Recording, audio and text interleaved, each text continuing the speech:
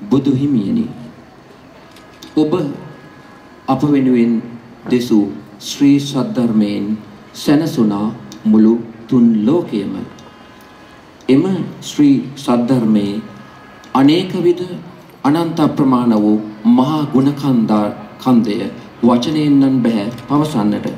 ඉතින් බුදු හිමියනි ඔබගේ උපත බුදු වීම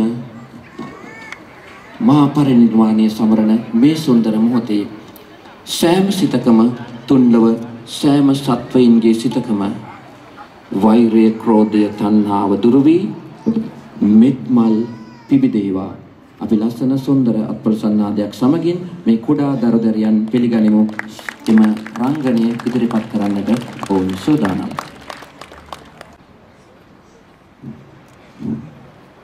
සුභද්‍රා!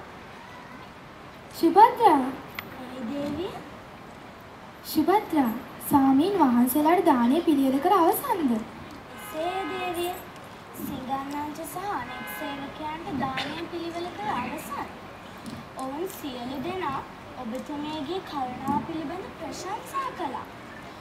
ඔබ නම් ඉතාමත් කාරුණිකයි දේවිය. එහෙත් මාගන්ධියා බිසව හැම විටම අන් අයට ඊර්ෂ්‍යා කරනවා. වෛර කරනවා.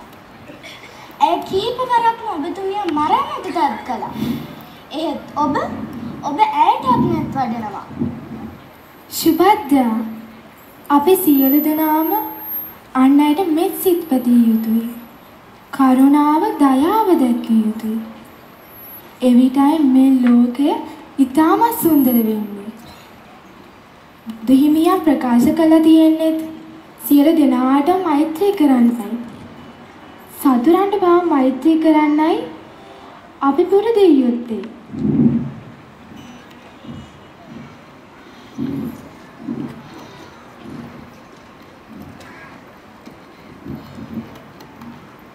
ඉන්ද්‍රචාපා ඉන්ද්‍රචාපා මා නුඹට කී දේ කළාද?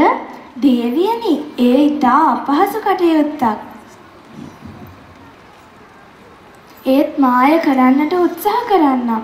කෙසේ සාමාදේවිය මරා දැමිය යුතුයි. ඇය සැමට මෛත්‍රී කරනවා කියා රජුත් එයට ඉතා ප්‍රියයි. එය හරි සුන්දරයි. මාලිගාවේ සියලු දෙනා ඇයට මට වඩා කාදරෙයි. එය කරුණාවන්ත නිසා. හ්, මට ඇගේ කරුණාවෙන් පළක් නෑ. කෙසේ වුණු මගේ වස් දනුවට විෂනාගය ඇතුල් කළ යුතුයි. එම විෂෙන් ඇය මිය යනු ඇත.